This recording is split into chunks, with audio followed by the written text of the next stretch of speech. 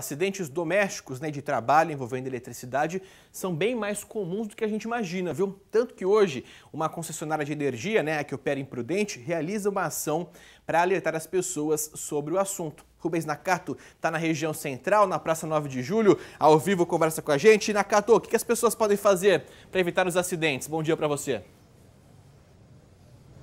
Bom dia, Casagrande, bom dia a todos. Primeiramente, bem-vindo de volta das férias, viu, Casagrande? Bom, vamos lá, viu? Cuidados necessários. A gente sabe, né? São vários, mas tem dois que são mais comuns aí que a gente sempre vê, né, pela cidade. São crianças soltando pipa perto da rede elétrica.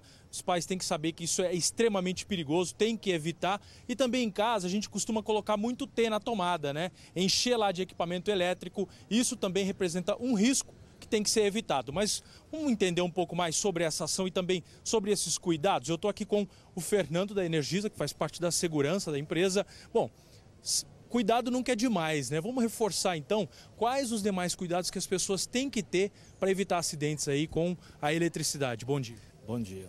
É, sempre os cuidados com o acesso com a rede elétrica, né? Tem que ter muito cuidado a população e a Energisa traz essa, essa semana a campanha para orientação à população. Tivemos anteriormente campanhas na época das férias relacionadas a pipa, relacionadas a soltar balões. Então são situações que a gente deve realmente evitar ou fazer com cuidado no caso de pipas, né? Essa campanha que a gente está fazendo hoje é na divulgação com relação ao acesso à rede elétrica. Cuidados necessários na reforma, reforma das nossas residências, estabelecimentos comerciais, é, tendo muito cuidado com a proximidade da rede elétrica. Agora, quando a pessoa se vê numa situação de perigo, ou tem uma certa dúvida, ou vê um fio caído, enfim, o que, que ela tem que fazer? Nunca, em hipótese alguma, ela encostar nesse fio, tá? De maneira nenhuma. Ela tem que sempre procurar nós da Energisa para a gente fazer esse, esse tipo de, de trabalho.